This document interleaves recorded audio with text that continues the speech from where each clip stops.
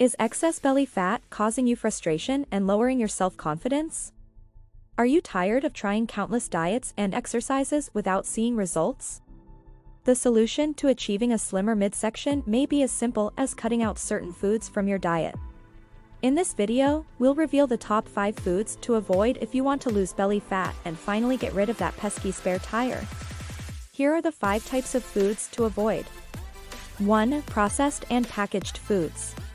These types of foods are often high in added sugars, unhealthy fats, and calories, which can contribute to belly fat. They are also low in nutrients, making them a poor choice for overall health.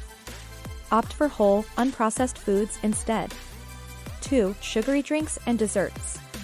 Added sugars are a major contributor to belly fat.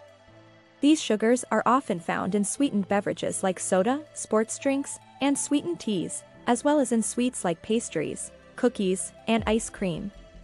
To help reduce belly fat, limit your intake of these sugary treats.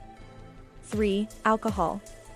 While an occasional glass of wine or beer may not be a problem, excessive alcohol consumption can lead to weight gain, including belly fat.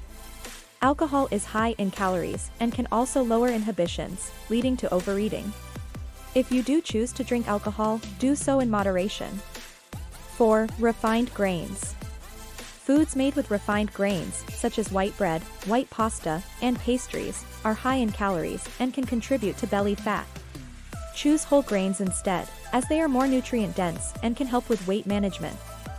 5. Deep-fried foods. Fried foods are high in calories and unhealthy fats, which can lead to weight gain and increased belly fat. Choose baked, grilled, or steamed options instead. By avoiding these unhealthy foods, you can help reduce belly fat and improve your overall health.